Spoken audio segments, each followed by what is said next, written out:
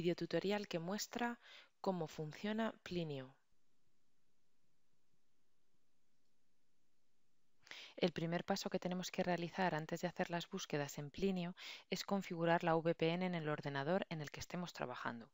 Este paso nos evitará problemas a la hora de descargar el texto completo de los documentos que forman parte de la colección de la Biblioteca de la Universidad de Castilla-La Mancha. Si queremos realizar una búsqueda simple, debemos introducir los términos que conocemos en la casilla y después hacer clic en Buscar.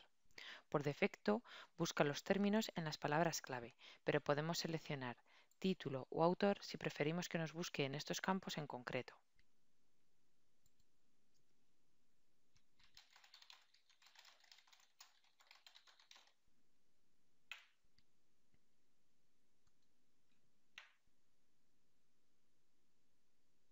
Si por el contrario queremos realizar una búsqueda avanzada, debemos entrar en el enlace que está situado junto a la casilla de búsqueda simple.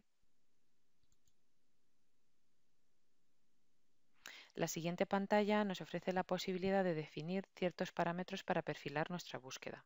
Para explicar mejor su funcionamiento, os proponemos el siguiente ejemplo.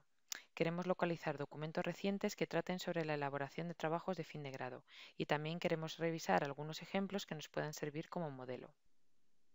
A continuación, en la casilla Título, vamos a introducir los términos trabajo, fin, grado.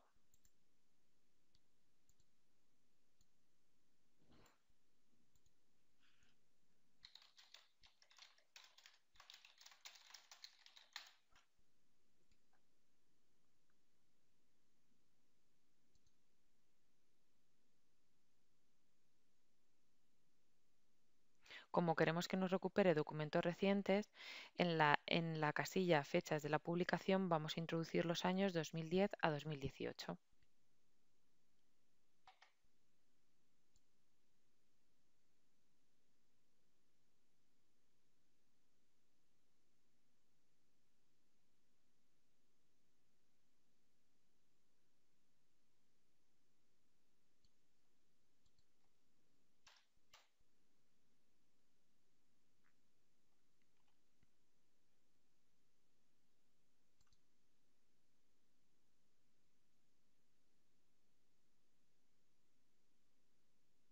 La siguiente pantalla nos muestra los resultados que por defecto aparecen ordenados por orden de relevancia. Si quisiéramos que nos los ordenara por fecha de publicación, bastaría con hacer clic en cualquiera de las dos opciones.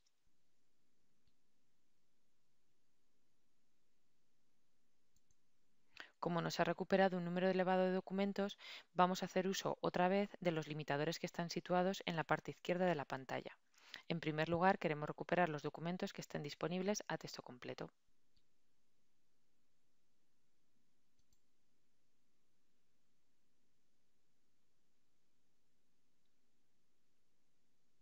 Comprobamos cómo ha disminuido significativamente el número de documentos.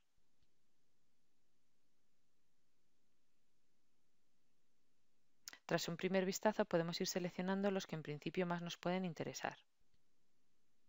Para ello debemos hacer clic en el icono de la carpeta situado en la parte derecha del registro y automáticamente se añadirán a una carpeta temporal donde iremos guardando todo lo que nos vaya interesando.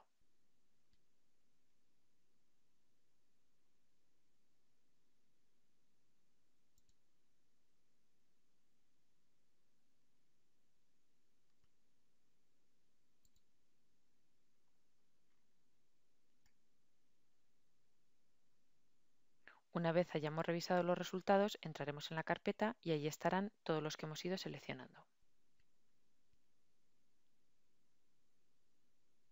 Si no disponemos de tiempo y queremos revisarlos en otro momento, Plinio nos ofrece varias posibilidades, entre las cuales podemos destacar imprimir las referencias, enviárnoslas a nuestro correo electrónico o exportarlos a un gestor de referencias bibliográfico como puede ser EndNote.